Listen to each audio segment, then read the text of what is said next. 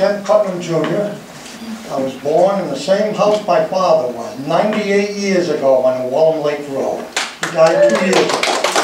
Born there 75 years ago today, well, September I should say. So I just wanted you to know that I've lived here a long time. My father owned a supermarket in town. He helped people out. They were short on cash, he helped them out. This has always been a great town to live in because we took care of everybody else. And they always come back to our store, to our people. I built houses for over 50 years for people in this town. I have a reputation of building such a good house that people came back with their daughters and sons and I built for them.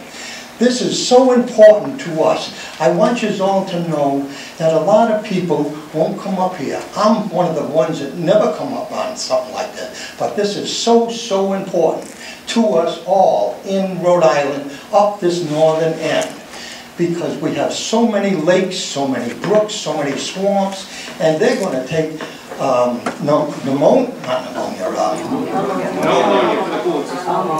ammonia, and all this other pollution in the air. And here's what I want you to think about also.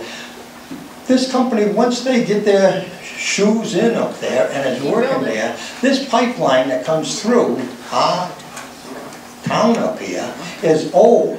They're gonna put more pressure in that pipeline.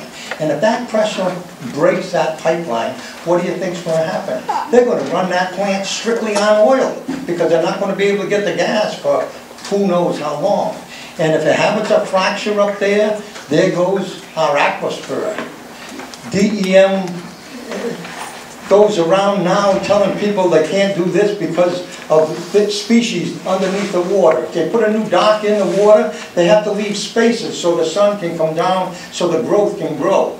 I mean, these are little things, right? This thing here is enormous, enormous. I'll give you one other example. Up on um, Sherman Farm Road, that plant up there is on the end, very end.